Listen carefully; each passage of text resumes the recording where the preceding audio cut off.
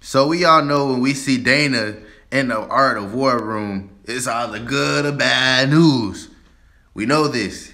Dana did this to us before. He hurt our feelings yesterday with that dumbass fight league bullshit. Talking about 12 hours, I don't even know. I couldn't even listen to it to the 12 seconds of it, and it, I was only three seconds in. So, with that being said, the first fight Dana White has announced is Dustin Poirier versus Benoit Saint Denis for UFC 299.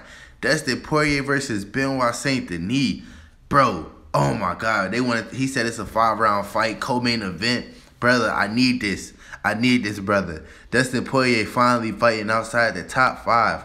The top five finally giving niggas chances. Thank you, Lord. You better because you got kicked in your neck.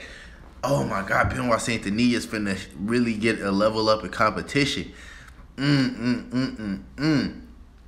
That fight could have been on UFC 300, but even then they also said on UFC 300, Charles Oliveira is fighting Arman Tsarukyan for the number one contender spot in lightweight. Brother, brother, my PP is getting boy join, join, join, join. Like I am like so amazed that he is finally putting Charles Oliveira.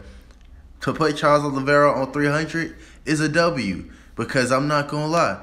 Leon Edwards and Belal are still as hard to believe is gonna be on UFC 300 as the main event. So putting that as the co-main event is pretty cool. I still need Alex Pereira on UFC 300 to really round it out because I cannot have Leon Edwards headlining something like that and me going to 20 years in advance, looking back and being like, damn, you remember when Belal fought Leon Edwards to headline UFC 300? I would throw up inside of my mouth knowing that I'll have to explain that to somebody or my kids. Dana White, please fix it before UFC 400.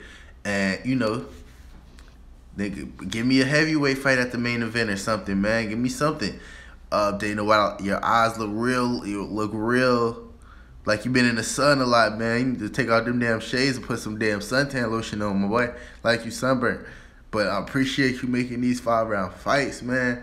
Um, I got Charles Oliveira and Benoit Saint Denis.